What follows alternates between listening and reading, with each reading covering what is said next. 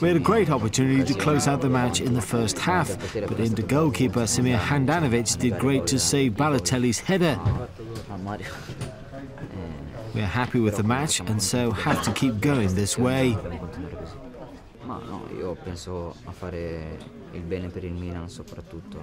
On the pitch, I do my best to help Milan. We have other great strikers in the squad like Giampaolo Pazzini, who scored 10 goals.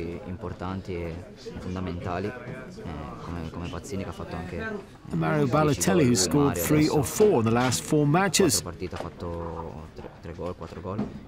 So this is the high standard needed to be high in Serie A. cerchiamo di rimanere in alto in classifica. Sì, no, è, è muy lindo para mí haber entrado y It's great for me to get on the pitch and score. I thank the coach for this opportunity. I'll never forget this goal.